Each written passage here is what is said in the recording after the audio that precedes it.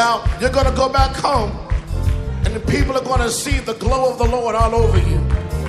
They're going to see that something significant has happened to your life. So I want to set you up to prepare to share with them what God's done in your life this weekend. So I want to practice on your neighbor. Look at him and tell him this. Tell him you should have been there. Now point to yourself and say, when I came through, say this, the ramp was on fire. Throw your hands up and say in the Holy Ghost too. Put your hands on your head and say from the top of my head to the sole of my feet. Come on, do a Holy Ghost spin and say, I felt the Spirit moving all over me. Come on, look at somebody else and tell them you should have been there. Come on, when I came through. Come on, church was on fire. Now say the ramp was on fire and the Holy Ghost too.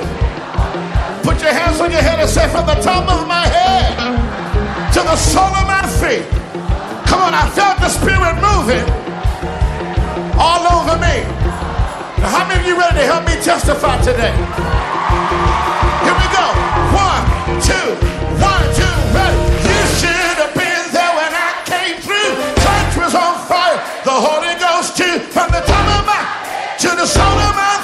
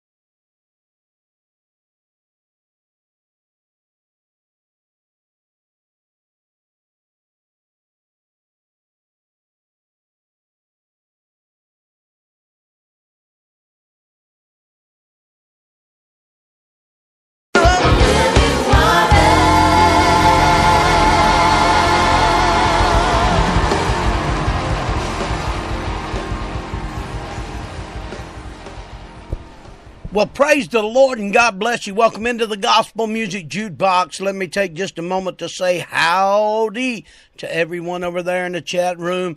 I love you guys. We got brother Chester Boston in the house. Amen. God been all over him, he says. Amen. God is God everywhere. We got Sister Carolyn Adams. Uh, she know what you be talking about. We got the living water. Praise God, and the water was cold.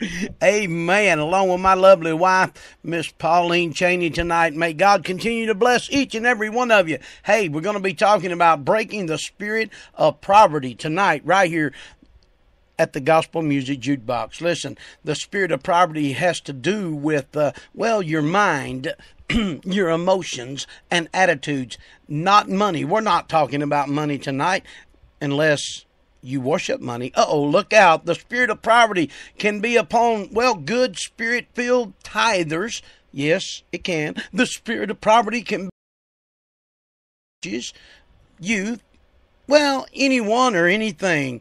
That's what we're going to be talking about tonight breaking the spirit of poverty. Listen, this is how Satan plants the spirit of poverty in your life. It becomes all about what you want or what your wife wants or husband wants or what your children want. Well, what everybody wants around you except what God wants. Hmm, interesting. Right here tonight at the Gospel Music Jukebox, talking about breaking the spirit of poverty. Hey, listen, all believers are in war. And I'm talking about a war with the devil. Look in 1 Peter chapter 5, verse 8, and we're going to be right back. Be blessed.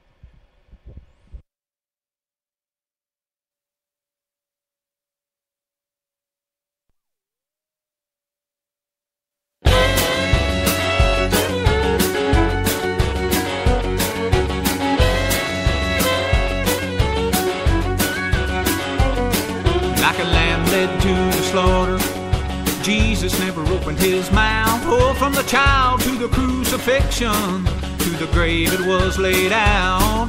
After three days in the garden tomb, I can hear the angels sing.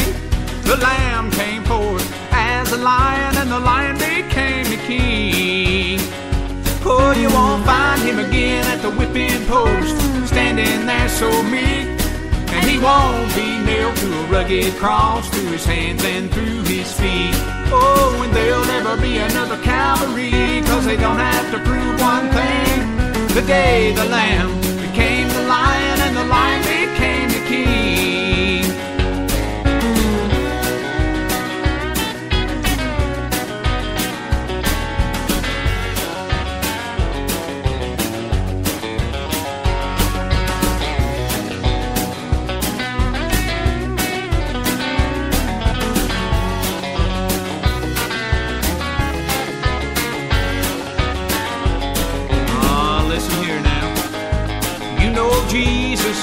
splendor to live on earth for man. By most he was rejected because he came for the eyes of lamb. Oh, but the day is soon approaching that every eye shall see that the Lamb and Lion of Judah has been crowned the King of Kings. Oh, you won't find him again at the whipping post, standing there so meek. He won't be nailed to a rugged cross through his hands and through his feet. Oh, and there'll never be another Calvary, cause they don't have to prove one thing.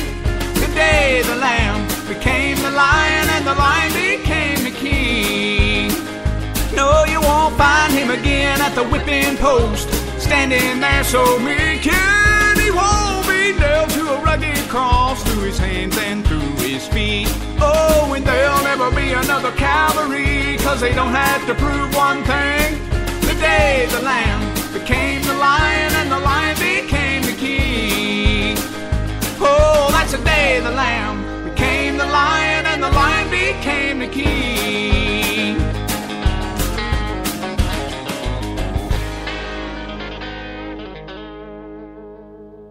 Well, praise God and God bless. Good to see Brother Philip drop by in the house tonight. Yes, right up there out of Pikeville, Kentucky. Talking about the country where they have the pump of the sunshine in. If you ever been there, you know what I'll be talking about. But thank God Brother Philip lives up on the mountain. He gets to see a little bit throughout the day. Amen. Praise God. We just love you guys. You guys are awesome. Hey, talking about breaking the spirit of poverty tonight. Listen, all believers are in war, a war with the devil. You can look there in First Peter chapter five, verse eight. Listen, and, and, and his evil spiritual forces, which he dispatches and assigns to perpetrate and and to dispatch his wickedness throughout the world, my friend. Listen, the scripture says that we wrestle against principalities and against powers, against the rulers of darkness of this age, and against spiritual wickedness in heavenly places. Look in Ephesians chapter 6, verse 12. We are all aware of the evil characteristics of Satan, are we not, if we're born again, bathed in the blood? Listen, we know that he kills, steals, and destroy. I want you to look tonight in the book of John, chapter 10, verse 10. But beyond his routine harassment and temptations or hit and run tactics, listen, the devil, he forces and he focuses to seek territory to establish long term strongholds in which they, well, they may dominate and hold captive. Satanic forces, listen, they search for people, cities, and nations in which they are not resisted and where they may flourish. Do you hear me talking to you now? They seeking places where they're not resisted. You got to remember that God says in His Word for us to come out from amongst the world and be a separated people. Tonight we've got a lot of people that has the spirit of poverty hovering over them, and that's what we're going to be talking about throughout the program. So you definitely want to get your pencil, your paper, man, you want to keep notes, you want to go back, listen to the archive, get the books I'm sharing with you, grab those verses, for we know that man does not live by bread alone, but by every word that proceedeth out of the mouth of God. Are you tired, sick and tired of being sick and tired? Are you tired of the spirit of poverty hanging over you, your family, your community, your your county, your state? Listen, it's time for us to stand up and take back what the enemy has stole. Listen, strongholds could be uh, actual demon possession, um, can merely be a, a, a, strong influence or a grip present or um, oppression or obsession hindrance or harassment. Believers, listen, you got to know this. If you're born again believer tonight, you got to understand that a believer, I'm talking about those filled with the Holy Ghost and fire. I'm talking about had received the baptism that comes from God. Do you hear me? The promise, He'll not leave you comfortless. Do you hear me tonight? Believers cannot be demon possessed, but many Christians are the victim of Satan's strongholds and the oppressed are oppressing from outside. Going to be talking about that throughout the program because we're going to get to the root of the problem. Listen, the devil's primary strategy is to, well, discuss his activities so he disguises them. Yes, he does. He discusses them with his little legions of demons, and then they disguise their activities so that it appears that, well, someone or something else is to blame. He wants us to get our attention on his uh, strategies, his, his, his instruments, his, his see. He wants us to wrestle with them so that our battle will be uh, directed against the symptoms instead of the real source. Now, listen, we all know that a um, diagnostic uh, uh, di- when you've got a a, a cold, uh, you can take some digestive medicine, and it'll relieve a stuffy nose, but it will not cure a cold. Now, likewise, you can fight with the symptoms of the devil, but you will not end the problems until you deal with the source and bind the strong man. Talking about breaking the spirit of poverty out of our lives. I'm talking about destroying it. Do you hear me tonight? I'm talking about becoming the man or woman of God that God has called you to be. Now, listen, you got to remember when when uh, uh, Peter was you know, resisted Jesus' uh, discussion to return to Jerusalem. Listen, knowing that he would be crucified there. Jesus did not rebuke Peter, but he turned to Peter and rebuked Satan. He said, Get behind me, Satan. Look in Matthew chapter 16, verse 23. See, Peter wasn't demon possessed and probably didn't even intend to be an offense. However, the devil inspired Peter's statement, and Jesus went after the real source of the problem, and that's what you and I have to do in our life. We have to recognize who our enemy is. We have to stand and speak with the boldness with the Holy Ghost, such as we ought to. We got to remember who we are in the body of Christ. Now, Paul said that our battle is not with flesh and blood, but with spiritual uh, adversaries. Look in Ephesians chapter 6, verse 12. You got to know how important it is that we understand what the real root of the problem is, my friend. Who our real enemy is. Listen, it is Satan. It's not flesh and blood. It's not our brethren. It's not our family. It's not our children, not our household and our wives, not our employers, not our not our co-workers, not our government. No, the devil is the enemy. We'll be right back. Get your pencil, get your paper. You want to keep notes tonight as we talk about breaking the spirit of poverty.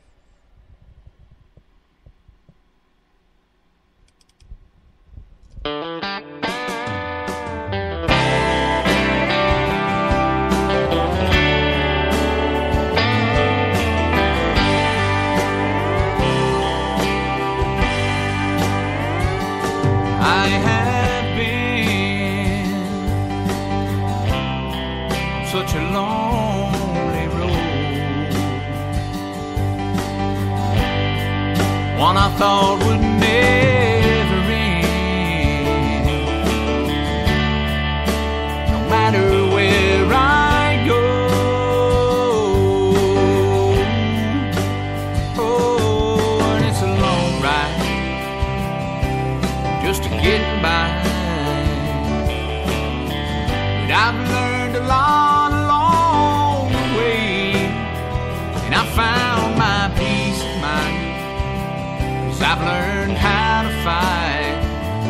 a fight of faith.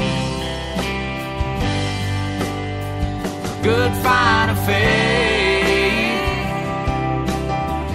There's nothing left to bring me down. Nothing standing in my way. Just can't take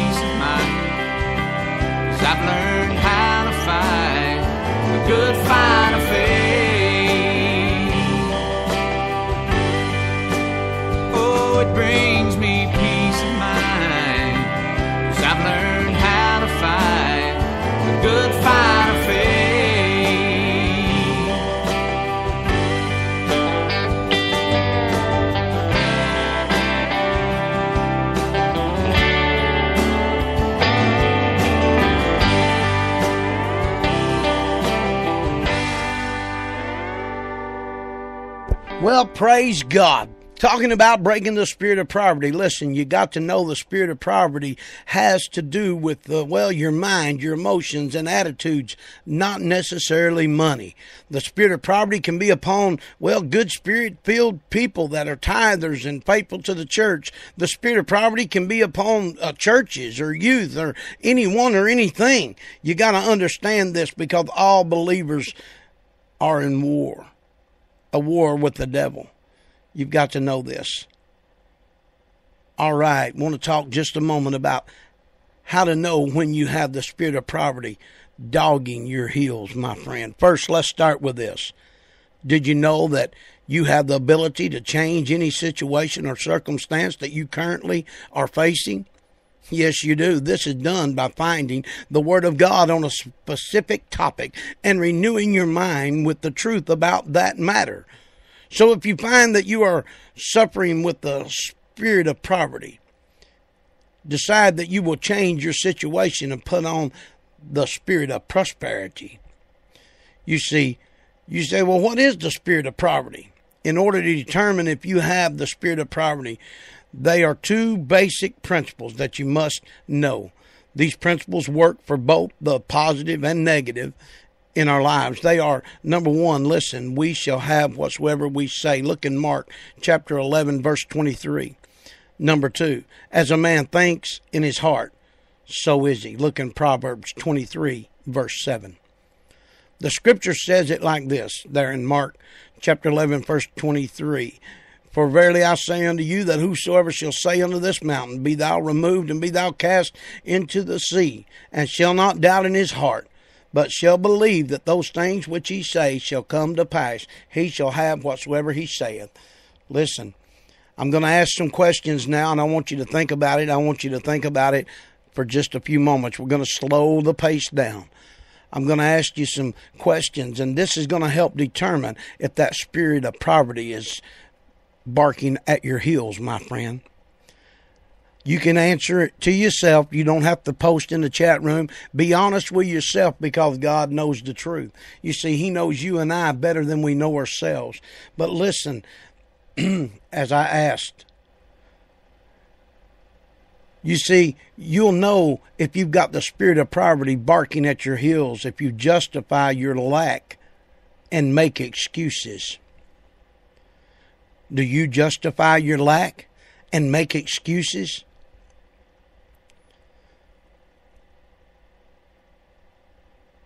Are you critical of those who teach and preach prosperity? You know where you stand. God knows where you stand. But listen, we're talking about recognizing if the spirit of poverty is barking on your heels. Maybe it's already moved in, settled above your family, your your community, your your county, maybe your church. But listen, you don't think that a man or a woman of God should live in abundance. If you feel like this, you've got to know that the spirit of poverty is barking at your heels, my friend. You are, if you're afraid to give under the direction of the Holy Ghost, the spirit of poverty is barking at your heels, maybe already moved in. See, you govern your finances with a lack of trust and don't believe God is your source. If you feel that you have to govern your finances and you have a lack of trust in this area, the spirit of poverty is barking at your heels. It may have already moved in, settled in. You've got to be aware of the devil and his devices.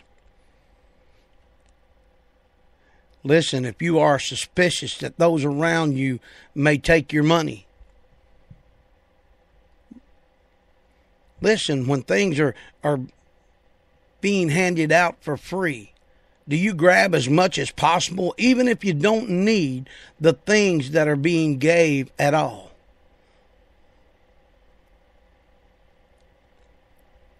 This is ways you can recognize that the spirit of poverty is barking at your heels, my friend. Listen, when you can't even imagine tithing to God until, well, let's say after you win the state's lottery. You know, a lot of people say, well, I can't afford to tithe. I can't tithe. I, there's no way I can afford it by the time I pay my bills, by the time that I take care of necessities of life. Listen to what they're saying. I can't afford to tithe. Friend, I'm telling you tonight that you can't afford not to tithe not only money, but I'm talking about time. I'm talking about doing the Word of God, applying the Word of God in your life.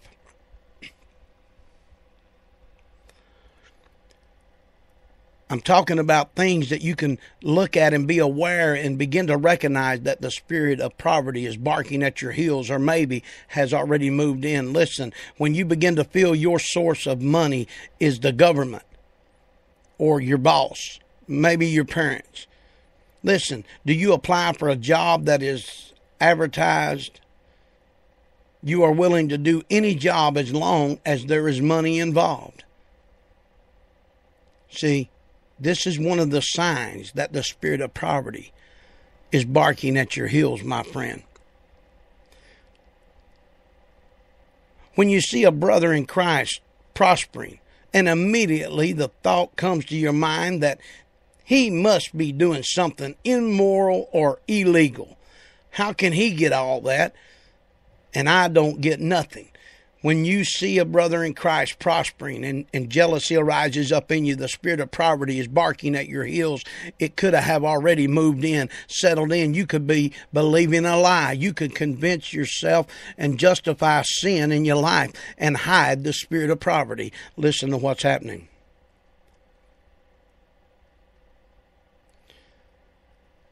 you cannot do, you cannot, nor do not want to work for free. You have to be paid for everything you do. Do you have that spirit on you where you're not going to do nothing for free? You have to be paid for everything you do, or, or they have to give you something for everything you do. In other words, you don't have uh, the spirit of giving. Listen to me. The spirit of poverty is barking at your heels, or could have already moved in. If you are not doing for others when you see a need, and maybe there's no money, look, you do it. You give looking for nothing in return, giving of your time, and of maybe it's a little work. Maybe you need to mow the grass for an elder, uh, uh, widow woman or widower in your neighborhood. But I'm saying these are ways you can recognize that the spirit of poverty is barking at your heels tonight if you apply some of these things that I'm talking about to your life. Listen.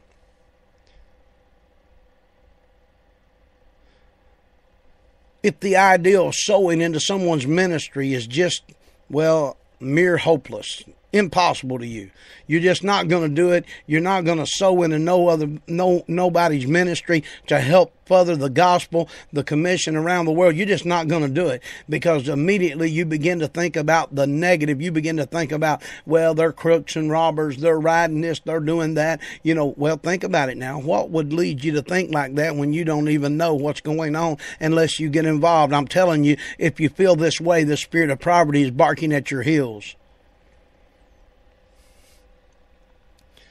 Sometimes you can tell that the spirit of poverty is barking at your heels when you pray and ask God for just enough provision that you and your family won't starve. See, you need a seed to be a sower. Listen, you can tell the spirit of poverty is barking at your heels when your weekly bill at the video store, well, computer games is more than you give in a, in a month to your church. When you waste not only money but time when you find that you have idled away the day and done nothing for the kingdom of God. The spirit of poverty is barking at your heels. It could already be settled in.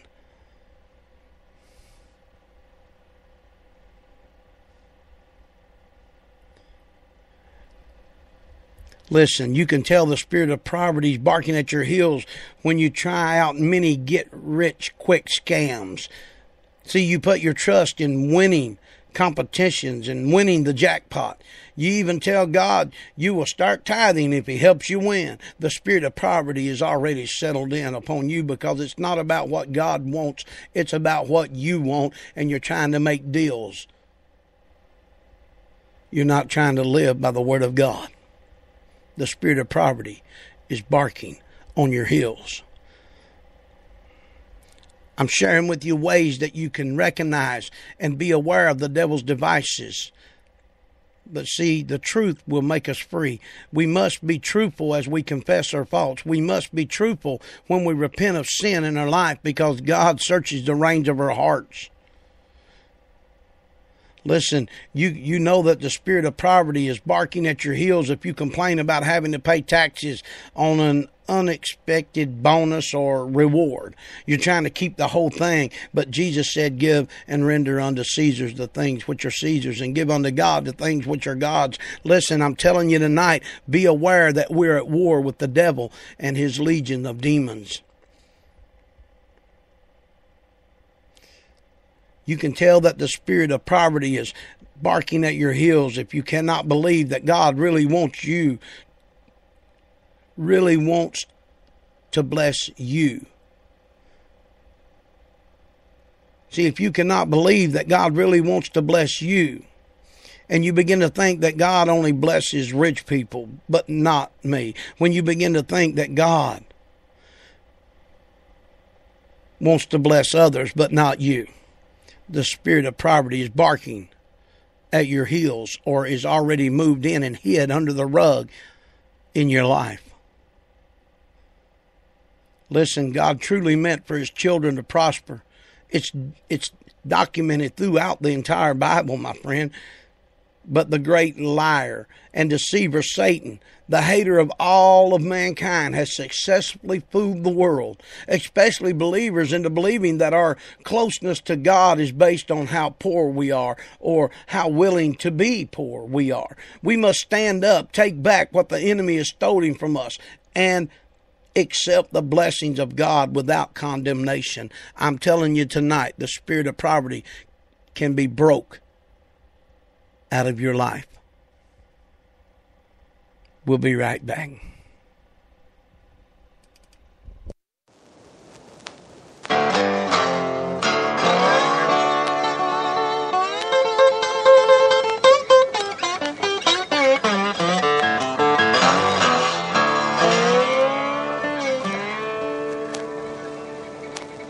This ain't no house of the blues. It's a house of good news. It ain't no place to break down. It's a place to break through. This ain't no place for doubt. It's a place to sing and shout. So get out of your pew, put on your dancing shoes. This ain't no house of blues. Lay your burden down. Hey, crank the music loud forget about your hurts. Endless house and church. Cause when your praise goes up, the glory will come down. Let go of your fear and dry your tears. God's gonna turn This ain't no house of the blues. It's a house of good news. It ain't no place to break down. It's a place to break through. This ain't no place for doubt. It's a place to sing and shout. So get out of your pew, put on your dancing shoes. This ain't no house of blues.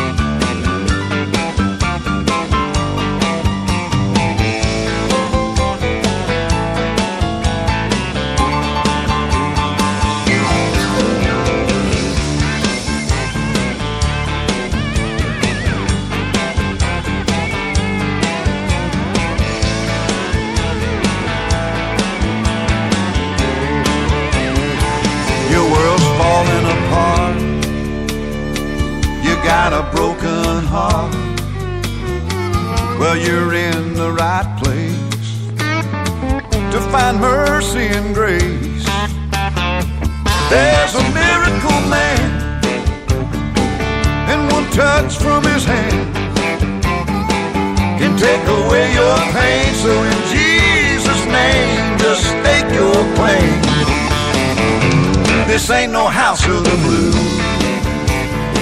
It's a house of good news. It ain't no place to break down. It's a place to break through. This ain't no place for down. It's a place to sing and shout. So get out of your pew, put on your dancing shoes. This ain't no house of the blues. Hey, get out of your pew, put on your dancing shoes. This ain't no house of the blues. No, no, no, no, no, no, no, ain't no house of the blues. Well, praise God. Talking about destroying, breaking the spirit of poverty that may be over your life. I don't know. We're, we're talking about ways of recognizing if the spirit of poverty is barking up your heels. We've discussed that. Now we're going to move on into binding the strong man. Listen, one time after Jesus had cast out a devil and healed a deaf and mute boy, Jesus explained that in order to overturn the work and activity of the devil, we must bind him first. Or else, how can one enter a strong man's house and plunder his goods unless he first binds the strong man? and then he will plunder his house. Look in Matthew chapter 12, verse 29. Listen, in order to neutralize the devil's works, we must go and deal directly with the source and bind up the devil so that his hands are tied. Then we will be able to take back what he has stolen and bring a halt to his actions and destruction in our lives when we begin to realize who we are in the body of Christ and the authority that our precious Lord and Savior has given us. Listen tonight, breaking the spirit of poverty out of our lives. You got to know that I preached in many, many of different cities that have been strongholds for the devil, my friend. The symptoms uh, of this uh, are many. Often the local churches suffer from, well, uh, senseless uh, conflicts or, or unexplained problems. The congregation experiences little growth and the preaching of the word is not easily proclaimed or, or well received by the community. These are the symptoms, but behind the scene, Satan is the culprit. In such cases, those spiritual strongholds must be dealt with and bound for the ministry to be effective. All believers have authority over the devil. Are you a believer tonight? Do you believe from Genesis to Revelation? Are you a believer of the Word of God? Are you a whosoever? Whosoever must be a believer because without faith it is impossible to please God. You've got to know tonight if you want the spirit of poverty broke out of your life. Uh, if you listen tonight, I'm telling you, God is not dead. He's alive and He lives forever. He changes not. He's the, well, praise God. He's the same yesterday, today, and forevermore. Reach up, reach out, take a hold of the unchangeable hand and recognize as a believer that you have authority over the devil. Listen, all Christians must be aware that God has equipped them to overcome Satan's power. The Apostle Paul said that the weapons of our warfare are not carnal. Listen, they're not of a fleshly or earthly nature, my friend, but mighty in God for pulling down strongholds. Look in 2 Corinthians chapter 10, verse 4, and ask God to write his word upon the tablet of your heart.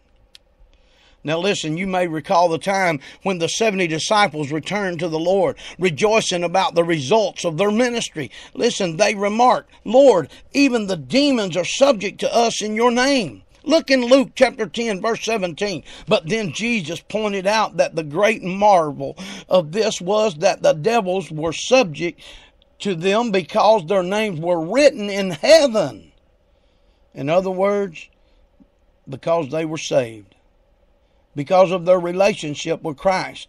They had authority over the devil in the name of Jesus. Tonight we must examine ourselves and realize where we are in our relationship with Jesus Christ, our precious Lord and Savior. We must begin to examine ourselves. We must begin to speak truth into our life. We must begin to deny ourselves, pick up our cross, and follow after Jesus. We must make a choice to whom will we serve. Now, listen, Jesus has given all his followers all those who know Jesus personally as their Lord and Savior the authority to use His name to expel the forces of the evil. Listen to all believers. Jesus said, In my name they will cast out demons. Look at Mark chapter 16, verse 17.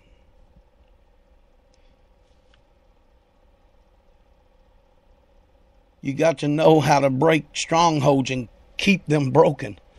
You got to realize tonight, breaking the spirit of poverty off and out of our lives in the name of Jesus, we must know where we stand in our relationship with Jesus. Do you believe from Genesis to Revelation? Will you stand upon the promises of the Word of God, knowing that man shall not live by bread alone, but by every word that proceedeth out of the mouth of God? Listen, we've got to understand this word authority. Every believer has the right to use the authority of Jesus' name to bind and take authority over Satan's activities in our lives. No one can enter a strong man's house and plunder his goods unless he first bind the strong man, and then he will be able to plunder his house. Look there in Mark chapter 3, verse 27.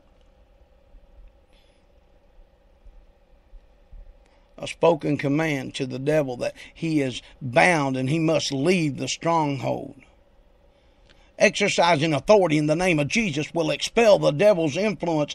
And these signs will follow those who believe in my name. They will cast out demons. They will speak with new tongues. Look in Mark chapter 16, verse 17. As you stand upon the promises of the Word of God, claiming victory in our life, not just saying it, but doing it. Being a doer of the Word of God, not just a hearer only. Applying the Word of God in our life.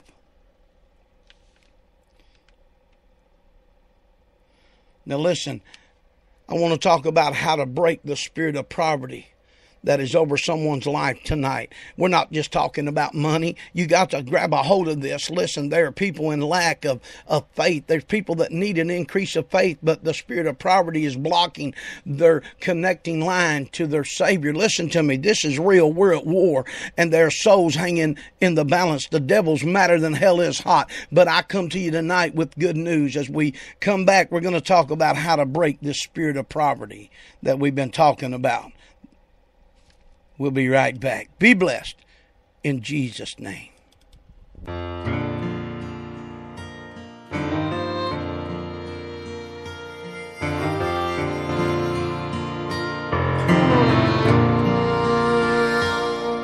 He was sitting on the steps of the Union Rescue Mission, holding a tattered Bible in his hand.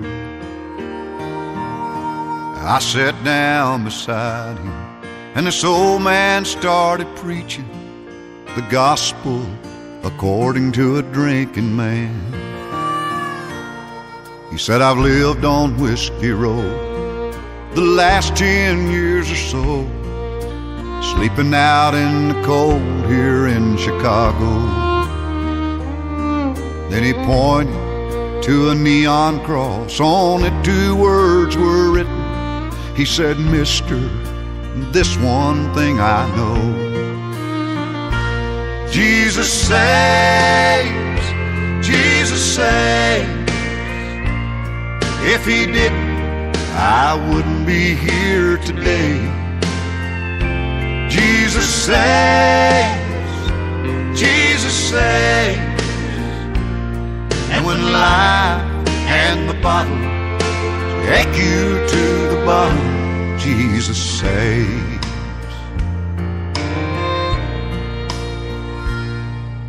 When I got home that night, I reached for my bottle and began to pour the whiskey down the drain.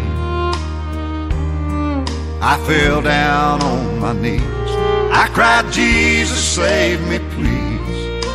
Since that night, I've never been the same.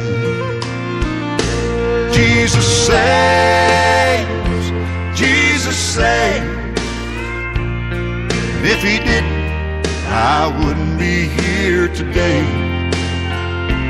Jesus saves, Jesus saves. And when life and the bottle take you to the bottom, Jesus saves. Now, if your soul is lost, just look up to that cross. All you have to do is just believe. Jesus saves, Jesus saves.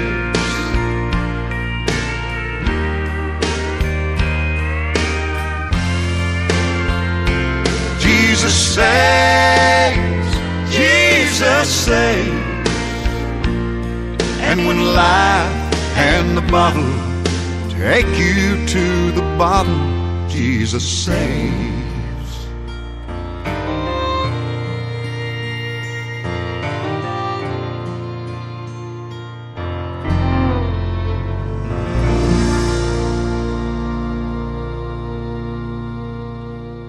Well, praise the Lord and God bless you. Welcoming everybody to the Gospel Music Jukebox. Hey, good to see Sister Rachel, uh, House of Prayer Radio Ministry, Evangelist Willie Grizzle there out of Scottsville, Kentucky, uh, Brother Philip, Sister Carolyn, my lovely wife. Just God bless each and every one of you. Please remember, I cannot back up my chat room, so uh, leave your prayer request in the chat tonight. We'll print those out and pray over those before we leave the studio area.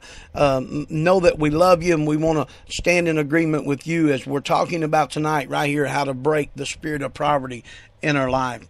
Listen, if, if you're listening tonight and you're sick and tired of being sick and tired, and you're tired of the not only the spirit of poverty, but you're tired of the foolishness the devil's been doing to you in your life. Listen, if you're not a Christian, you must first receive Jesus Christ as Lord and Savior. Otherwise, my friend, Satan is your father and boss, and lots of spirits will control your life. I know you think that's not nice, but it's the truth. If you're not born again, if you're not serving Jesus, you're serving the devil. That's the truth. There's no in between. There's no fence to stand a straddle of. This day is the day of salvation. Choose you this day whom will you serve, heaven or hell. A lot of people claiming to be born again, claiming to be children of the Most High, but they're not, and their fruit tells on them, and the spirit of poverty is destroying their life. But one of the ways to break the spirit of poverty in your life, the first and most important thing, is you must be born again. Now, listen, if you're saved, your heart is clean and the Holy Spirit lives there, my friend. The spirit of poverty, it can only live in your mind. Look in 2 Corinthians chapter 10, verses 4 and 5. Listen, the spirit of poverty lives in lies, lies that you believe are truth. You have to destroy the spirit's house, replace the lies with God's truth. I'm going to give you some verses. You need to write these down. And I know there's many more. But you need to read these verses until they get stuck in your mind. Matthew chapter 6, verse 24 through 34. Philippians 4 and 13. Hebrews 13, verses 5 and 6, just to give you a few. Listen, sometimes poverty is passed down through a curse. Poverty can be part of a curse. Look in uh, uh, Deuteronomy 28, verses 15 through 68. Listen, you may be under the spirit of poverty because you or your family member did something that, well, brought a curse on you. I mean, examples, you know, like going to witch doctors, stealing, uh, talking to, to ancestors, raising the, the spirit, familiar spirits. Listen, sexual sins, occult activity, occult involvement, uh, disobedient to God's word. Uh, you know, to do good and you do it not, to you it is sin. You've got to know this. Listen, the curse can be broke just simply repent and acknowledge the sin, ask and receive forgiveness. Close the door to Satan. Fill your mind with the truth. You see, a lot of people don't repent of things they've done in their past because they, they, they don't feel they had to. They repented of what they were doing the particular moment they got saved, but put all your sins under the blood of Christ. Don't try to carry around yesterday's garbage. Many of people hold on to, try to hold on to part of their past with one hand and God with the other hand. It ain't going to work. It leaves a, a spiritual door open for the devil, my friend. We must repent of our sin, all of our sin, put it under the blood of Jesus. Cut the rope that is tied to yesterday. You see, the past is the devil's playground.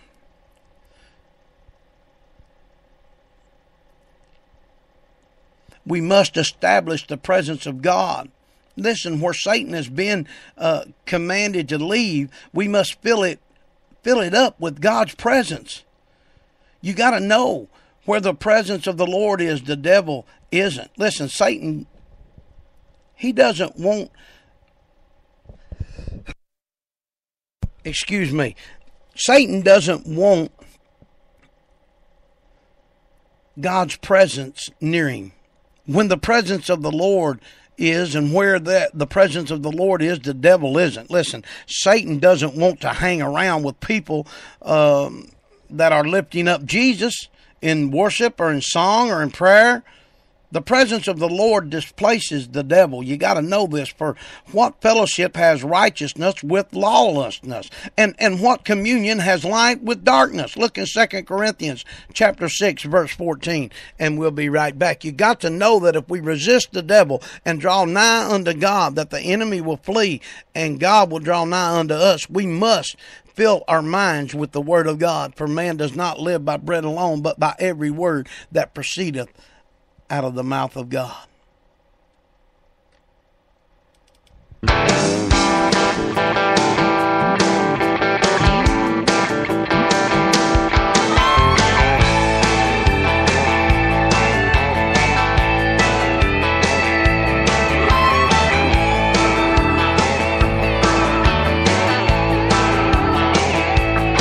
There was a crippled man by a beautiful gate.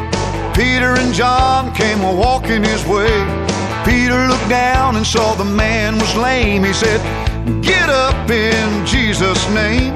The man jumped up and he started to leap. He felt the power of God from his head to his feet.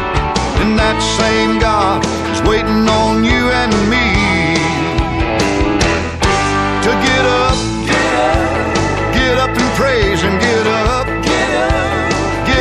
praise and get up. Get up and praise and get up. Get up and praise and problems come. Times get tough, but he's still a God that's more than enough. So get up. Get up and praise and get up.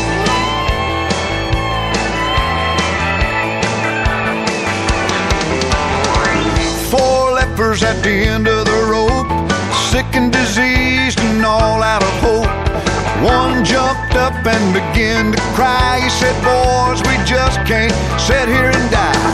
So they started walking and their legs were weak. But the power of God got into their feet. And that same God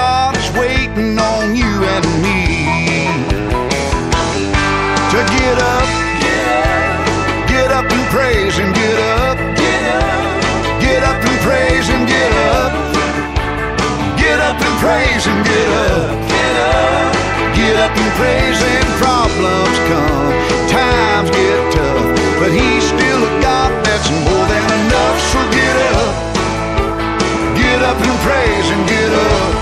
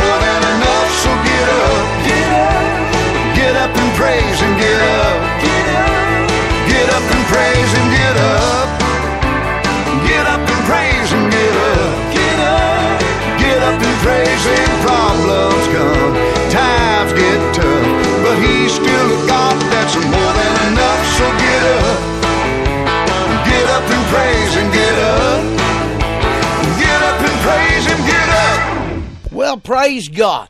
I tell you, when we realize and begin to resist, when we submit ourselves and draw close to God, the Bible says this is how we resist Satan and he will flee. The devil runs from a submitted, yielded Christian, my friends. He runs from you from your life and will run away from where you go. Therefore, submit to God and resist the devil, and he will flee from you. Look in James chapter 4, verse 7. I want you to know tonight the way to break this spirit of poverty. I want you to know the way to break uh, uh, the devil's stronghold that he's been holding over your head or over your community or uh, trying to sweep sin under your rug tonight. I want you to know that if we'll submit ourselves and draw close to God, the Bible says this is how we resist Satan, and he will flee. Listen, we got to realize, uh, we got to hold on to this word uh, occupation. You see, occupying. Listen, give no place or vacancy to the devil. Listen, give no place or vacancy to the devil with Satan departed, fill that void with God. Let righteousness be the standard rule and behavior. Provide no pocket of rebellion, my friend, corruption or immorality in which Satan can find refuge to, well, rebuild his influence or strength. The scripture says to not give place to the devil. Ephesians chapter 4, verse 27. Do you hear the word of God tonight? If you're sick and tired of being sick and tired, if you're ready for a breakthrough in your life, uh, you're tired of living in lack. Now, listen, we're not talking about money. We're not talking about just tithing we're we're not just talking about that. We're talking about the spirit of poverty. Listen, a lot of people uh, has a spirit of poverty for their prayer time. They spend very little time in prayer time. They hardly ever talk to God. They're in there's a spirit of poverty hanging over them, and the devil's blocking them and the relationship that could be uh, in Jesus. Do you hear me tonight?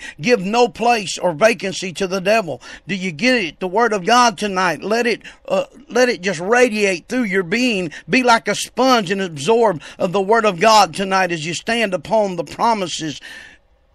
There's victory in Jesus, my friend. We've got to realize that uh, we've got to know what this word fortification means. To fortification, fort up. You get it? Clothe yourself with God's armor.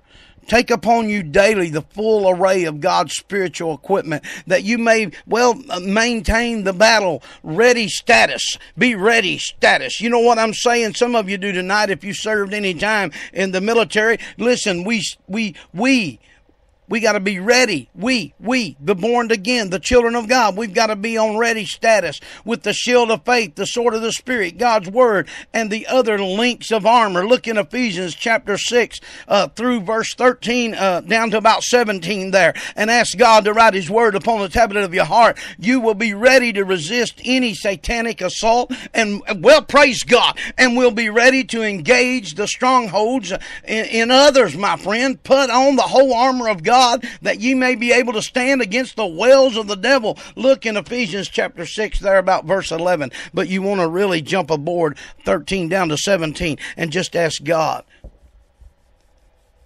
to write His word upon the tablet of your heart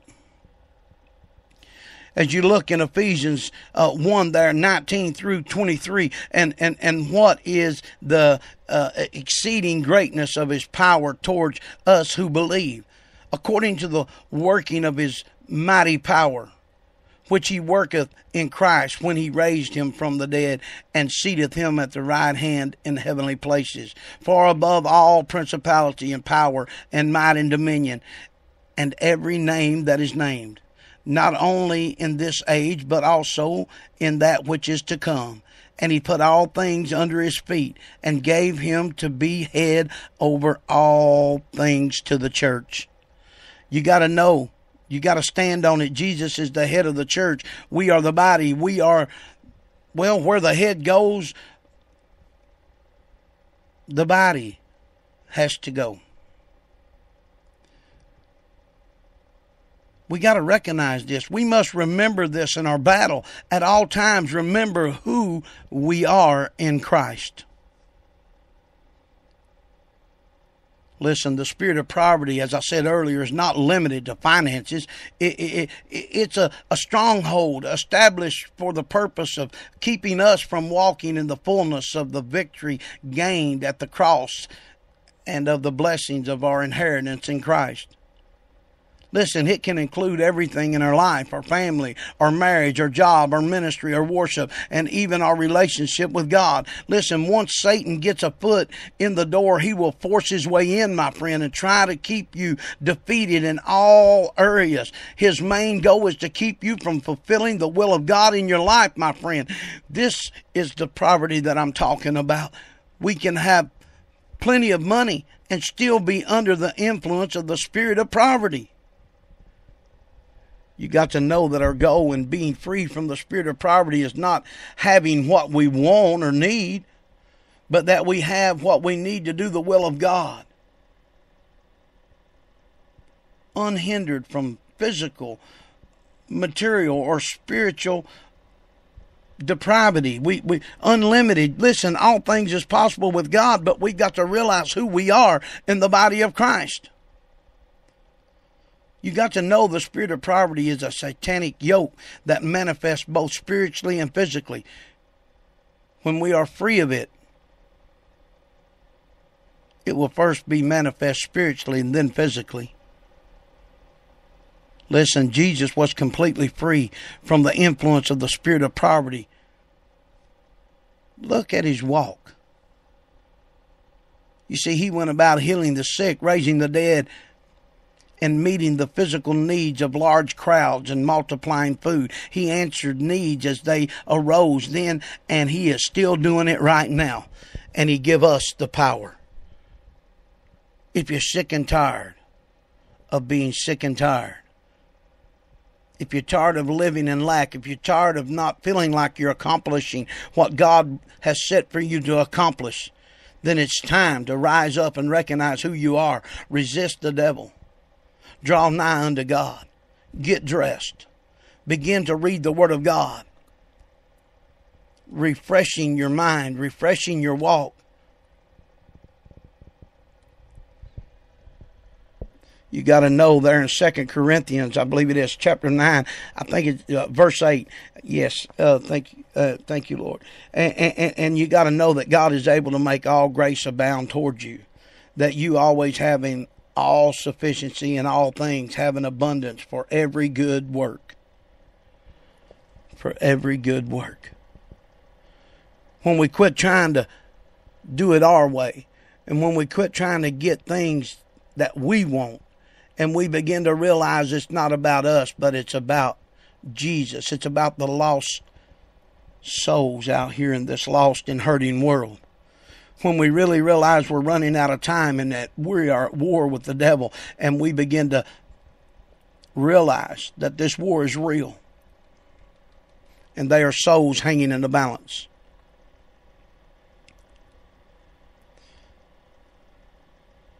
So our first goal is to have an abundance for every good work. Whether whether is it feeding the poor or giving uh, to further the Great Commission. We must have the abundance to do it. And how does that be accomplished? By the faith that we have in our precious Lord and Savior. The faith we have in the word that He's told us. Do we believe?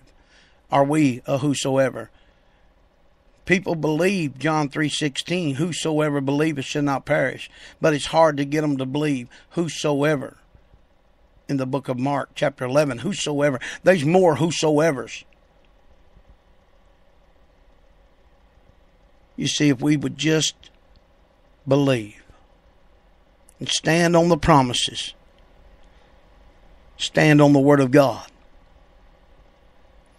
and recognize that the Lord is my shepherd, I shall not want. You can see that in Psalms 23, verse 1. Some of you know it but we've got to believe it. The earth is the Lord's and all its fullness, the world and those who dwell therein. Listen, when God created the world, He put everything in it we would need to survive.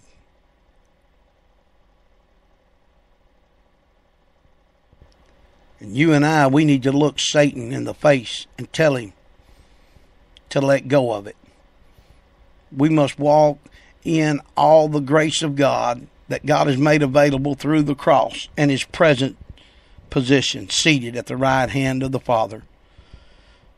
That's above all rule, power, and dominion. I want you to know tonight because we are born again. It is received through faith in believing who Christ is and what he has done. We do not do it in ourselves because without faith we can do nothing.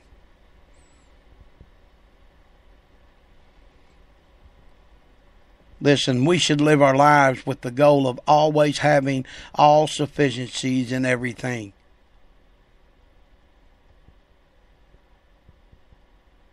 We are to live our lives with, with a goal to have as much as needed or desired to fulfill the will of God in our lives, not to live in comfort or to be able to retire early or have a large house or expensive car.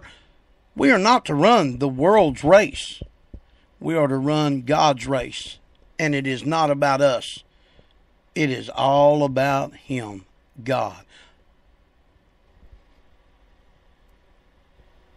As you reach out and reach a hold of the unchangeable hand of the great I am tonight and you realize that we've got an enemy and it's not flesh and blood. And we begin to prove our stewardship of God's property, He will reward you. It's a biblical promise as we're talking about breaking the spirit of poverty Get into God's Word.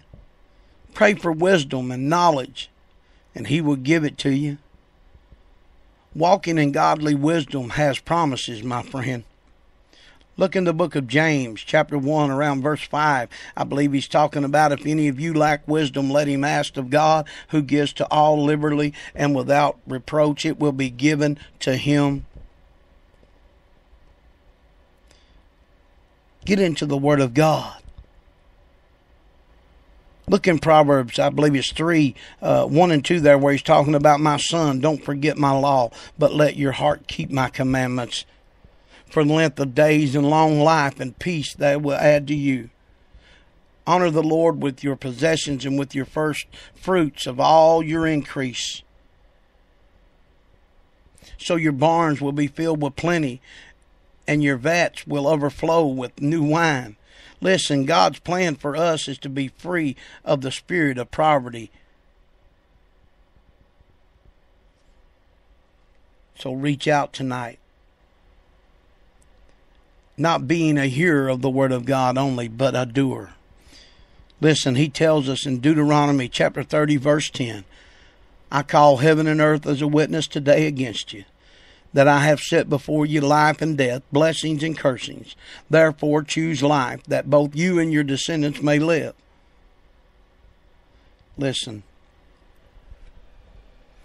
If we want to be victorious over the spirit of poverty in our life, we must choose God and His Word and His will first and foremost in our life.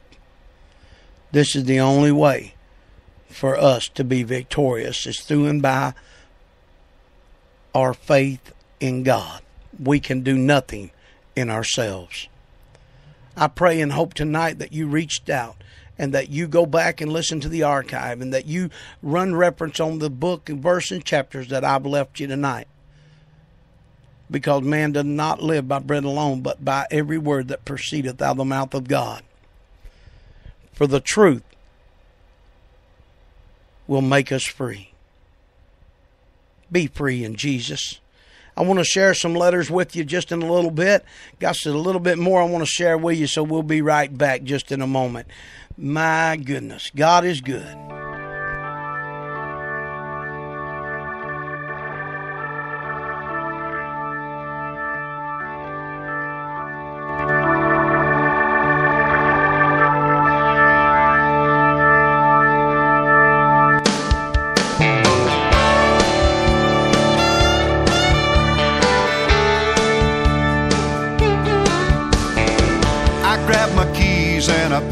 my suitcase, full tank of gas as I hit the highway, humming the tune. I'm on the road again. Another day, another motel room, paying the price to do what I do. But Lord knows I wouldn't trade it for anything. It's not a show, it's not a dream. It's a higher call I'm following. I'll go anywhere, any place the good Lord leads. And when Sunday morning rolls around, I might be on stage in some one horse town, spreading the good news and shaking everybody's hand. It's just another day in this preacher man.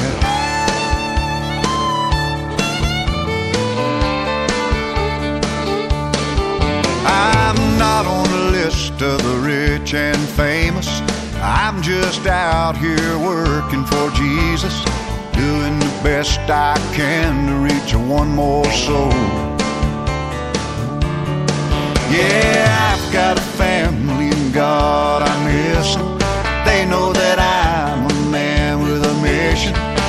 kiss goodbye. Down the road I go. It's not a show, it's not a dream. It's a higher call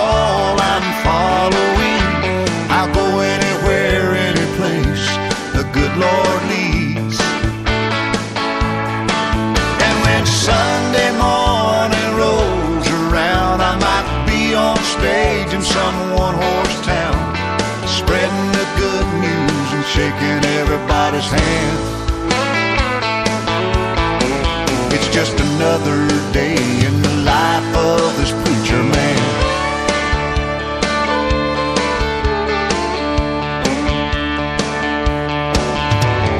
People say, Hey man, haven't I seen you? Don't you sing that song about whiskey? Let me shake your hand. It's just another day in the of this preacher man. It's just another day in the life of this preacher man.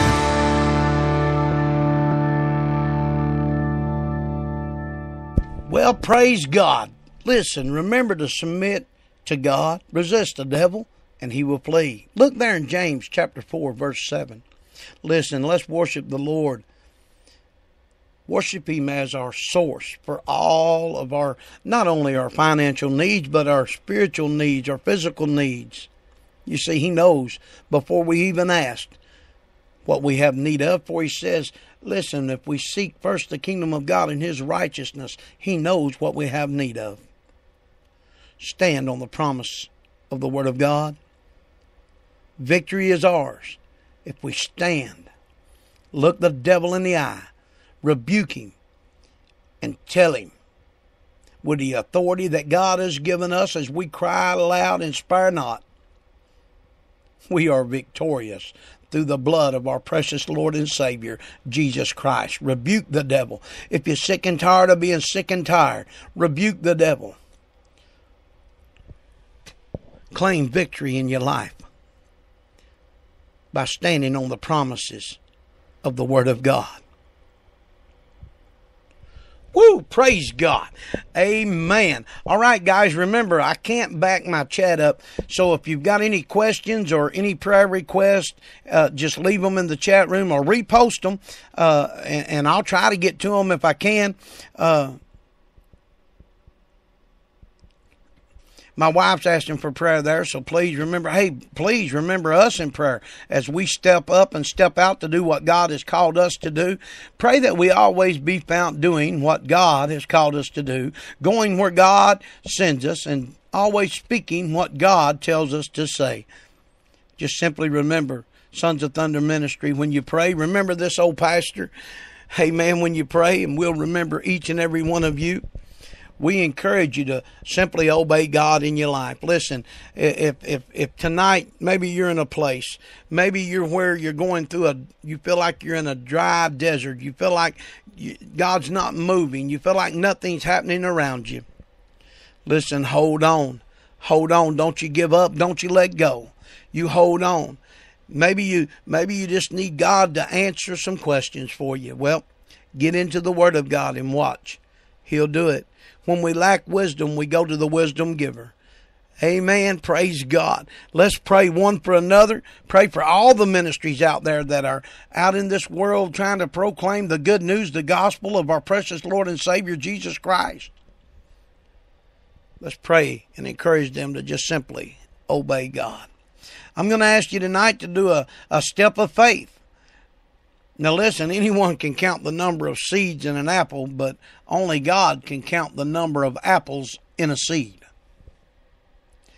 I mean, come on. If you sliced an apple and asked people, you know, what they see, they will probably reply, well, seeds.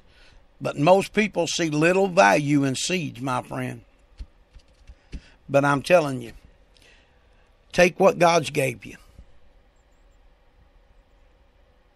Trusting God, standing on the word and the promises of God. I know it may look impossible to you, but watch what God does. Now, when we just simply trust Him. Just simply trust Him. Amen. All right, guys, let me share a letter. We've been getting some letters, a couple of praise reports in. Amen. Praise God. This one says, um, Thank you, O Lord, for answering number five to heal our finances as you blessed with sending those that owed us money just in time. Thank you, Jesus. Praise be to our Lord and King. And then the remaining four says, uh, Please, Lord, save my son, save my dad, heal the relationship with our family, and bless our business. In the name of Jesus Christ, we ask for your blessings over these things. Amen. Amen. Praise God. All right. We know that God is moving. Amen. Now, these I'm reading to you uh, come from a thing we're doing right now called Step of Faith. And simply, I'll be, I'm going to ask you to, to just take a step of faith. You got, you need to get a $5 bill I know you're going to say, but why? I'm going to tell you just uh, in a couple of more programs, we'll, we'll be sharing all that. But first, a step of faith, but just believing the man of God as I'm sharing the word of God. You take a $5 bill, you get a pencil and a piece of paper, and you write down five things that you need God to do in your life quickly. Now, I want you to take that $5 bill put it in the letter you just wrote with the with the request to God, put it put it in the envelope, seal it up and pray over it. Now if you would, you just simply call our prayer request line and leave those five prayer requests on our pre-recorded line. You just call one nine three one two two nine zero seven six eight. Mail the letter to Bishop Eddie Chaney at 219 Red Fox Drive, Crossville, Tennessee, 38571. I'm just simply asking you to take a step of faith.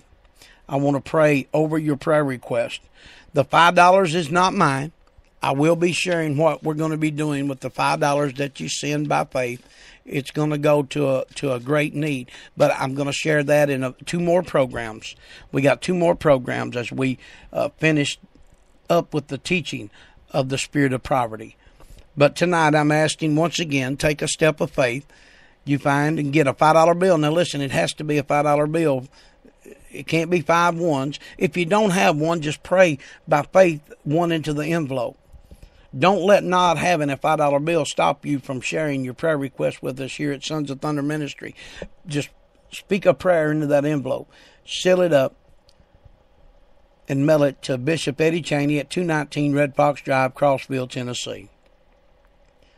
Then call our prayer line and leave those five prayer requests on our pre recorded uh, line. You just simply dial 1931 229 0768. Now, if you don't hear God through my voice, then you don't do it. That's simple. If you don't hear God and you're not up to taking a step of faith and you don't want no part of it, just simply don't do it. Just continue to pray for us and pray for the ones that do hear God through this ministry.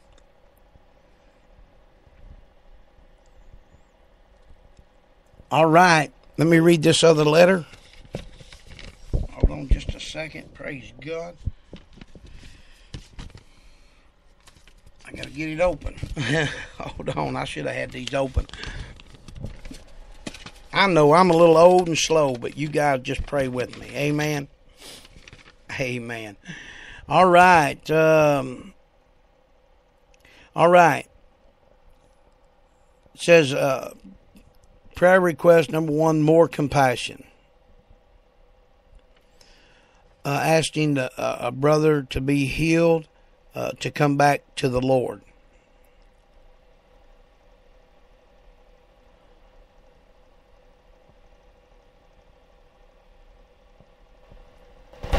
All right. Well, more compassion has been answered here. It says, wait a minute.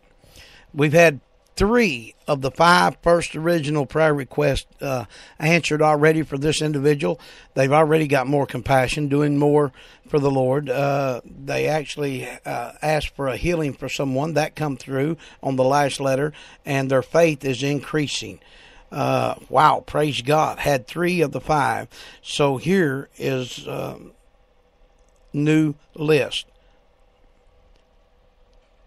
All right. Uh, praying for the daughter to do work for God's kingdom. Uh, that uh,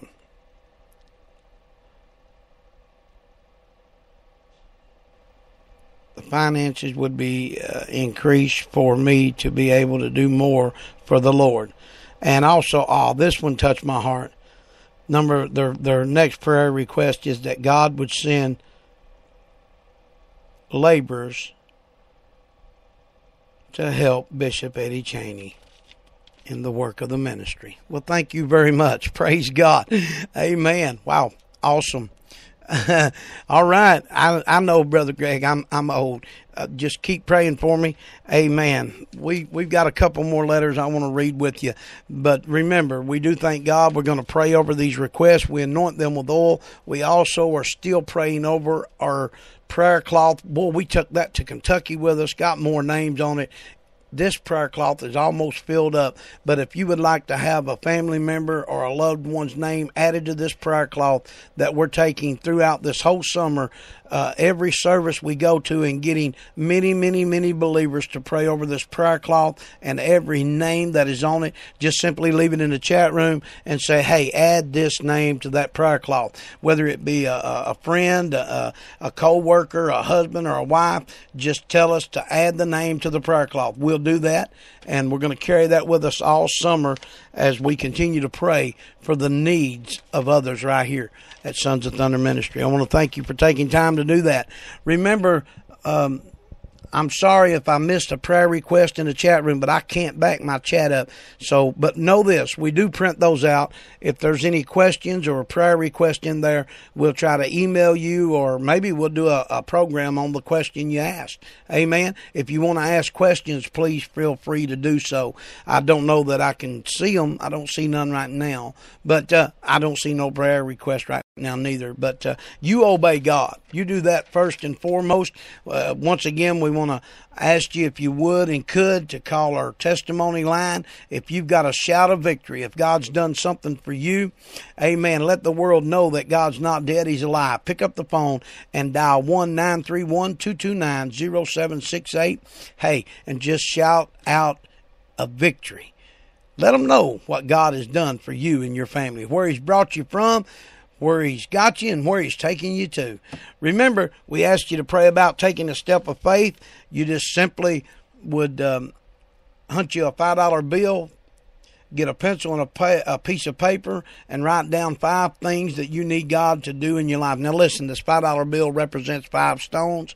We're going to be talking about uh, uh, little David, and we're going to be talking about why he picked up five, but he only needed one. This is why the five dollar bill, uh, you know, instead of five ones. But get you a pencil and piece of paper and write down the five things that you need God to do in your life quickly, and um, you know, put it in the put the five dollar bill in the in the letter you just wrote with your prayer request. Put it in an envelope, seal it up, and pray over it. Then you pick up the, the phone, you call our prayer line, and leave those five prayer requests on our pre recorded line. You just simply mail the, the prayer request to Bishop Eddie Chaney at 219 Red Fox Drive, Crossville, Tennessee, 38571. We got two more programs, and we're going to be sharing with you the exciting news of what we're going to do with the five dollars that come out of each prayer request, each letter that's been sent each week. Amen. Some giving praise. We're seeing God move. Man, just because of a step of faith. It, it has nothing to do with the five dollar bill that God's moving. You got to know that it's something we're going to do with the five dollar bill, re- showing and representation of fighting our giant. But anyway, we'll be sharing that in two more programs. Amen. So we just ask you to pray and simply obey God. If God says do it, do it. If you don't feel it, don't do it. But I, you know, but I'm telling you, Sometimes you just got to step out and trust the men and women of God around you. If you hear the voice of God in this ministry, get aboard, get in, hold on, endure. We'll be right back.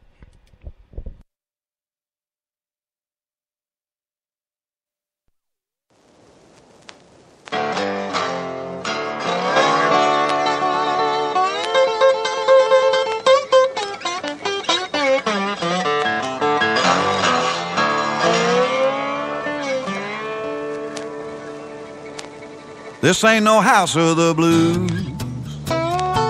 It's a house of good news. It ain't no place to break down. It's a place to break through. This ain't no place for doubt. It's a place to sing and shout. So get out of your pew, put on your dancing shoes. This ain't no house of the blues lay your burden down. Hey, crank the music loud. Forget about your hurts. Endless house and church. Cause when your praise goes up, the glory will come down. Let go of your fear and dry your tears. God's gonna turn This ain't no house of the blues. It's a house of good news. It ain't no place to break down. It's a place to break through. This ain't no place for doubt. It's a place to sing and shout. So get out of your pew, put on your dancing shoes. This ain't no house of the blues.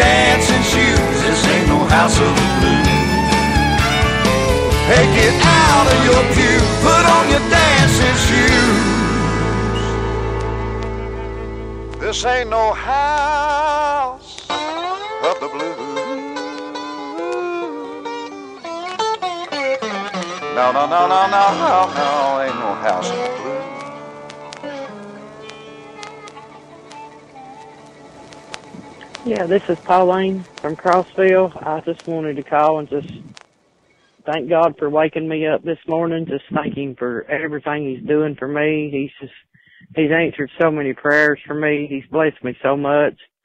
And you know, we've been doing the sending in the five things that you need God to do for you. And you know, I just want to praise God that two of mine's been answered.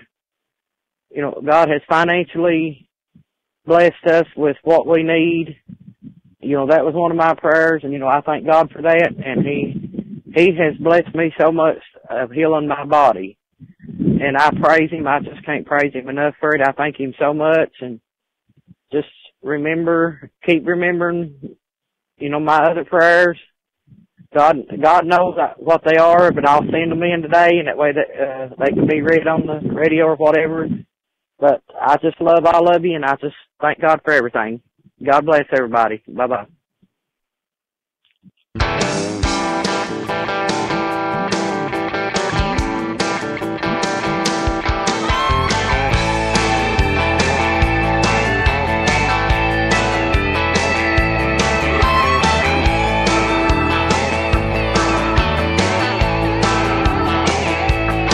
There was a crippled man by a beautiful gate. Peter and John came walking his way. Peter looked down and saw the man was lame. He said, Get up in Jesus' name. The man jumped up and he started to leap. He felt the power of God from his head to his feet. And that same God is waiting on you and me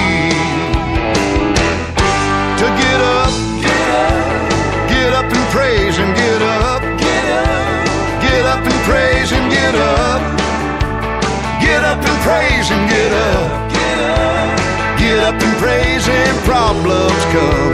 Times get tough, but he's still a God that's more than enough. So get up. Get up and praise and get up.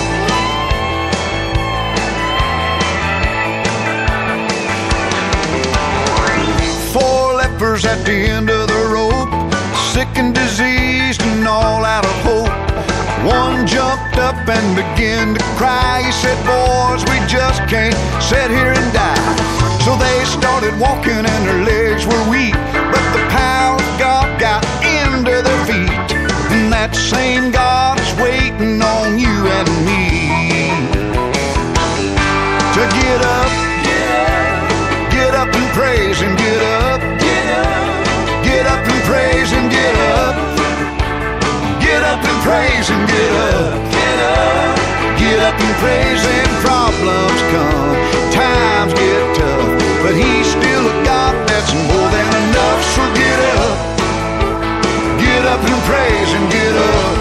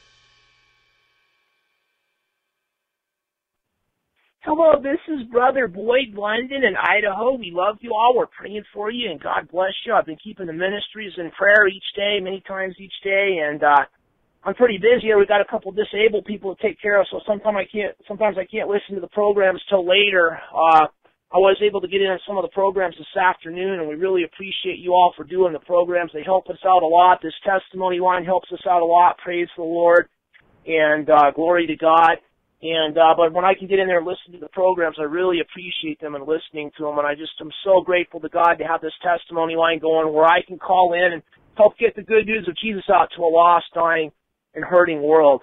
I know, I believe Brother Eddie was going to be talking about the spirit of poverty and uh, spirit that gets in people and kind of hinders people from doing what God wants them to do in their lives. And uh, one of the things that I've seen in this world myself is uh, so many people want to believe in Jesus and want God to bless them and prosper them and help them, but a lot of people really don't want to lay down their lives and do what God wants them to do, helping other people. A lot of people want to believe in Jesus, but for some reason their spirits, their spirit doesn't want to let them serve and help other people. They just believe in Jesus. And if you ask them, would you like to pray for someone and get somebody healed?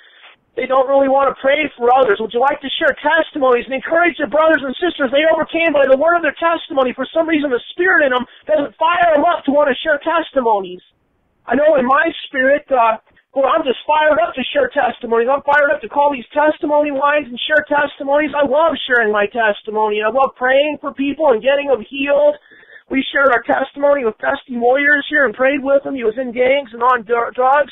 God sent us out to him after his uh, stepdad had beat him, and we brought him in and shared our testimony with him and prayed with him of our spirits being on fire for the Lord. And Dusty, you know, took Jesus as his personal Lord and Savior. He's been drug free for a couple years now, and we've still been helping him out. But you know, having that kind of a spirit in you where you want to do what God wants you to do, where you obey, we obeyed God and shared our testimony and prayed with and we've got that spirit well we'll go where God wants us to go, do what God wants us to do and say what God wants us to say. But a lot of people, the spirit in them, for some reason they just don't they're just lukewarm, they just don't want to do anything for Jesus. They believe in Jesus but they don't want to pray for others, don't want to share testimonies, don't want to do what God wants them to do. And I hope that people can really change and get a spirit in them where they'll want to pray for others and do what God wants them to do in their lives and be welcomed into heaven also. It could have eternal implications if we're lukewarm and have a bad spirit and don't want to help others and don't want to get sin out of our life. We could be called workers of iniquity and told to depart. So I hope God will help us all to get a good spirit in our hearts and minds and really obey what He wants to do. God bless all and have a good day. Amen.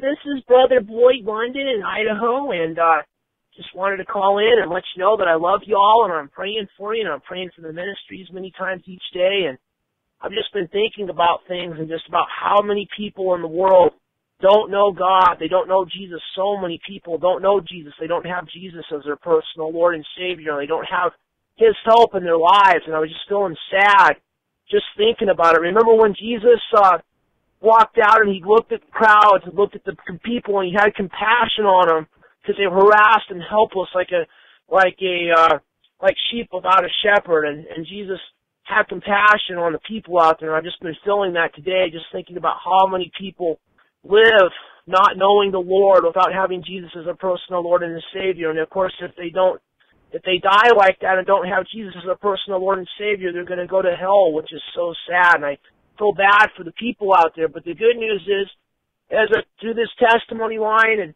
and through our uh, prayers and as we through the radio programs, as we go out and preach to others, we can help these people find Jesus as their personal Lord and Savior and get saved. So there's some good news that's why it's so important for us to go out and witness to others and share the good news of Jesus to a lost, dying, and hurting world so other people can have Jesus as their personal Lord and Savior. I um, was controlled by pornography, lust, anger, cursing, and so many sins in my life. When I, I accepted Jesus as my personal Lord and Savior, confessed Him as Lord, I was baptized in the lake, and Jesus got those sins out of my life and saved me from going to hell. He's my personal Lord and Savior. Not only that, He's healed me many times. I was healed from a serious back injury from a car accident, never had to have surgery. He's healed and helped me so many times in my life and delivered me from trials and challenges. I love the Lord so much, and I'm telling if you'll telling you if you'll turn your heart and life over to Jesus, He died on the cross for you. He'll forgive you of your sins, set you free of your sins, heal you from sicknesses and diseases, and deliver you from trials and challenges. Please turn your heart and life over to Jesus if you have it. Let me read a couple great scriptures here. These are some of my favorite scriptures in the Bible. Second Chronicles sixteen nine. For the eyes of the Lord range throughout the earth to strengthen those whose hearts are fully committed to Him. And I'm telling you, the eyes of the Lord look throughout the earth to find people, maybe people that are hearing this message, who want to turn their hearts and lives over to Him, and He will strengthen you, and He will help you. God loves you, and Jesus loves you. Psalm 103, 1 through 5, one of my favorite Psalms. Praise the Lord, O my soul, and all my inmost being. Praise His holy name. Praise the Lord, O my soul, and forget not all His benefits, who forgives all your sins and heals all your diseases, who redeems your life from the pit and crowns you with passion, and satisfies your desires with good things, so youth is renewed like eagles. God will forgive all your sins, heal all your diseases, and redeem your life from destruction. God loves you. Jesus loves you. Amen.